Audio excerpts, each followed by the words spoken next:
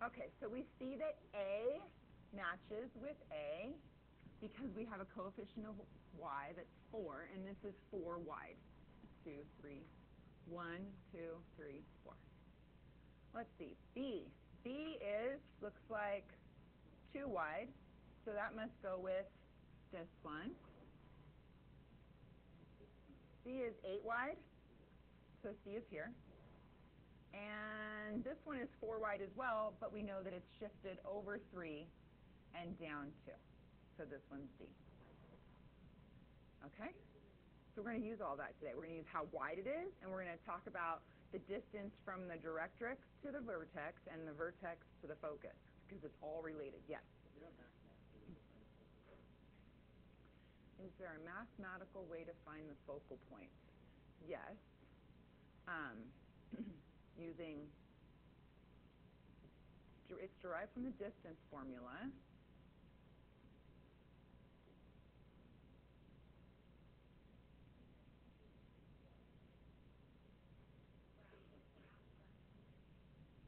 As long as you have a piece of the puzzle, you can figure it out. Does that make sense?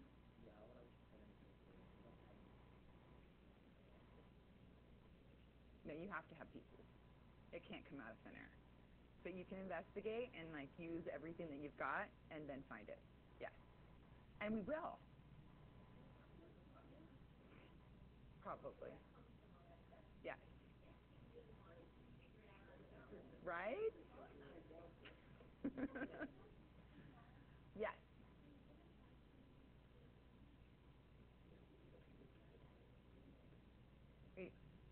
Well, normally, all righty. Okay, if this is P, that's the, we're going to use this letter P now, okay? So this nice letter P, let me change my color, is the distance from the directrix to the, to the vertex and the vertex to the focus. Well, this happens to be 2P. So that means that this whole thing is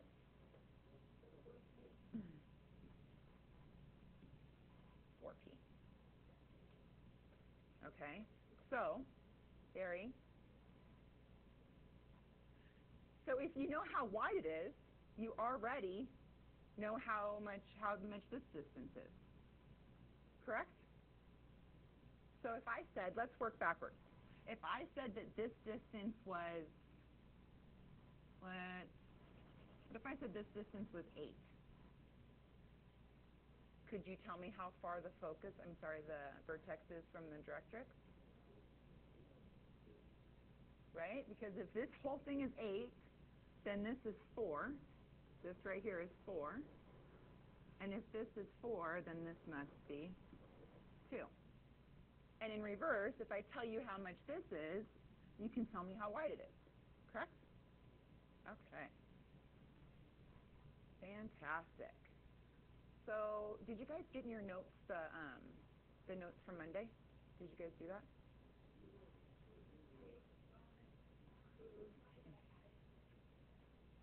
Okay, so maybe we'll do that on maybe we'll do that on Monday. Tuesday. Thank you. Okay, so here's our formal definition. Any point on a parabola is equidistant from a fixed point and a fixed line. So that's what we've already kind of gone over, right? All right, so students will be able to sketch a parabola and write its equation given the focus and the directrix. That's what we're going to do today. Okay, so where is the parabola four units wide? At the focal point, good. So if it's four units wide here, then I know that it's 2 here and 1 here. Good. And that would be the equation of this parabola. 4y equals x squared. All right, so I'm going to call P is 1. My focus is at 0, 0. Sorry, 0, 1 and my directrix is y equals negative 1. Correct? C. Okay, so let's say now my parabola is 8 units wide. That's what this tells me right here. That's what this number is. tells me it's 8 units wide. If it's 8 units wide, right here, 8 units wide, then how far is it? 2. So P is 2. My focus is at 0, 2. And my directrix is at y equals negative 2. Pretty easy so far? So easy, right? Believe we're going to build on this? Let's work backwards now. Okay? So, if my focus is at 0, 1, so I need my green too. My focus is at 0, 1, and I like to label these. That's F. That's my focus. And my directrix is at y equals negative 1. This is usually a dotted line. y equals negative 1. Focus, directrix. Can you tell me what P is? P has to be 1 because this must be my vertex. And if P is 1, then how wide is my parabola at the focal point? 4. So kind of this distance right here is the same as this distance here, right? These are the same from the directrix to the focus, from the focus to the point on the parabola, right? So 2, 2, 2, 2, all symmetrical. Yes?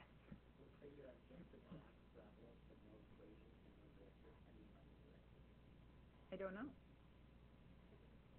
To be honest with you, I would, yeah, I don't know the answer to that.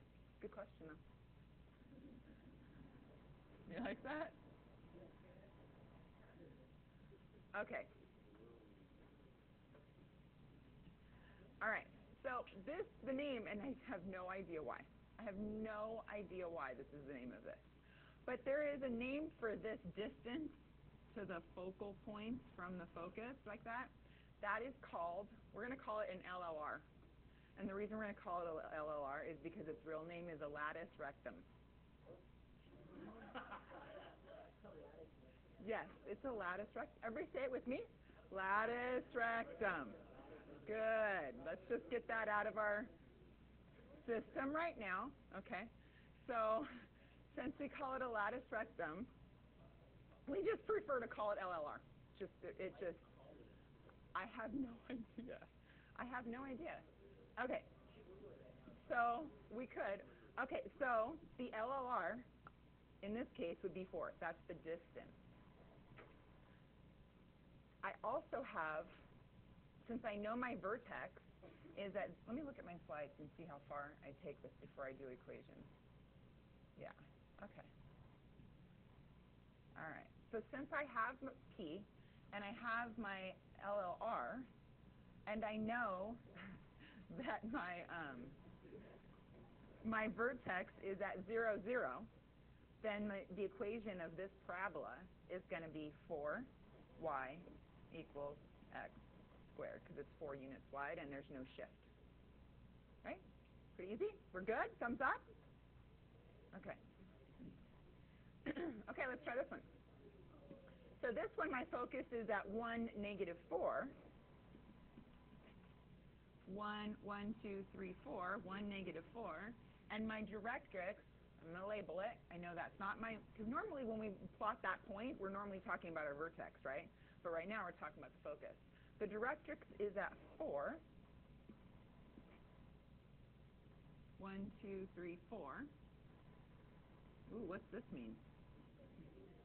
It's upside down, right? It's going to be negative. Perfect. Okay, so let's find P.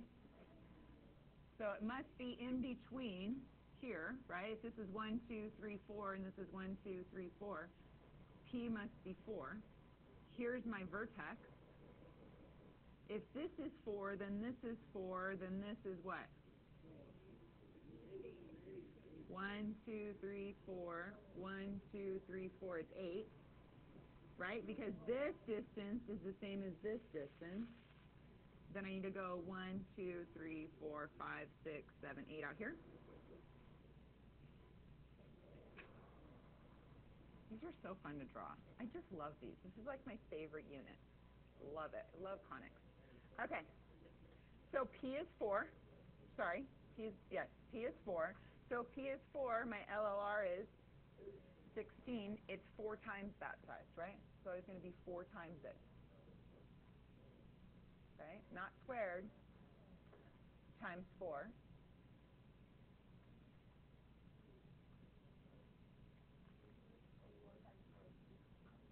Are you on the phone? Look up here. All right. So now, but this one has a shift, right? This one shifted over 1. How do we normally write when something's shifted over 1? It used to be at 0, right?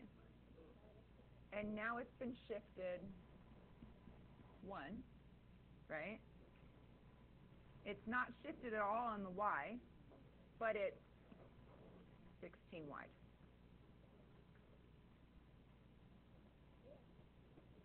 Right? It's 16 wide. Okay, so that's the equation of this parabola. Okay, so here is our, this is our um, equation. It's our formal equation. 4p y minus k equals x minus h squared. So my 4p is how wide it is. It's always going to be 4 times however much that distance is from the directrix, right? The directrix to the vertex or the vertex to the focus. That, that amount right there, you multiply it by 4 to get how wide it is. How are we doing? Thumbs up, thumbs down. Okay, you guys have to tell me. You guys are just staring at me. You want to do it? Okay, I like it. I like it. I like it. Can we have the homework? Um, why don't you guys, you want to try this one? Okay, let's see how much I want. I First, I want to know what P is. So get your whiteboards out. Joey, get your whiteboard out. I want to know how much P is. That's all I want to know. Don't show me anything else on that whiteboard.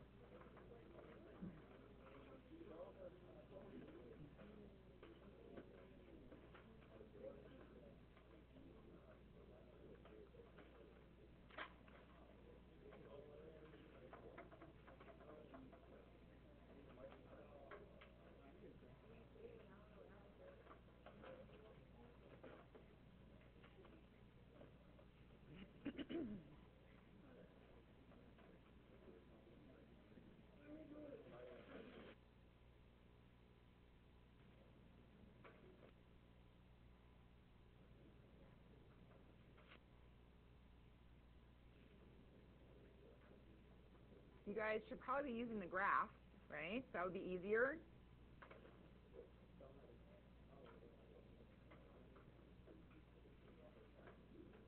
I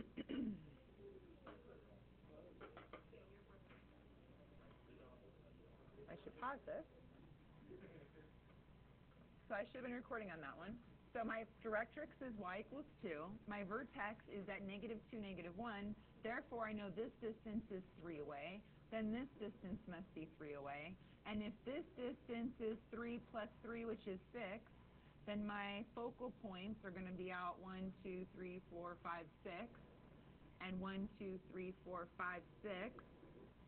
Therefore, my LLR is 12.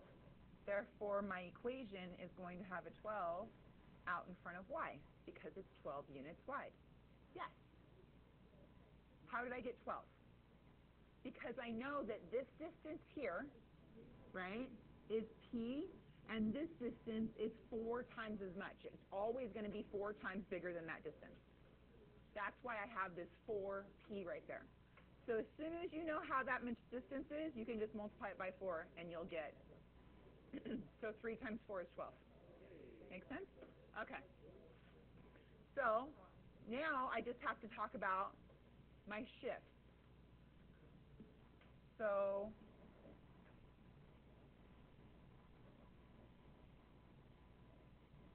I'm just going to kind of fill that in, right?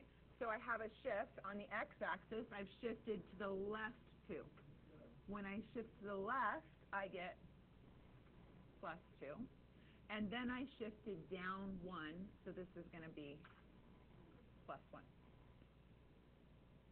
Okay, let's do another one, and then I want to get you into homework, because I want you to practice. Yes, you just use the vertex. Exactly. Oh, that's my closure. Okay, let's get started on homework. All right, I don't think I've even gotten to the screen before this year. Okay, so what did you learn today? We learned how to grab the vertex, figure out the symmetry, and uh, let's just rent them. Okay, so we figured out, we learned how to graph parabolas. Let's be simplistic about it. We learned how to graph parabolas using how wide they are, right? Instead of like the old traditional way that we normally would do it. Okay, what's the definition of a parabola? Who could tell me?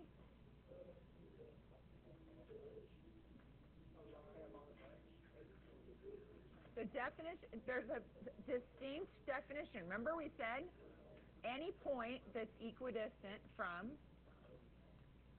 the focus to the directrix. That's what creates a parabola. Okay, what is the relationship between P and the width?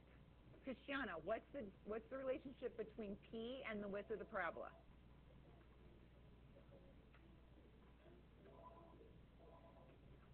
I can't hear you. Remember we just talked about this. P, that number P, and the width. What's the relationship? What? It's it's always four times the width, right? It's always four times. Perfect. That's it. Great. Great job, guys. Let's do more homework.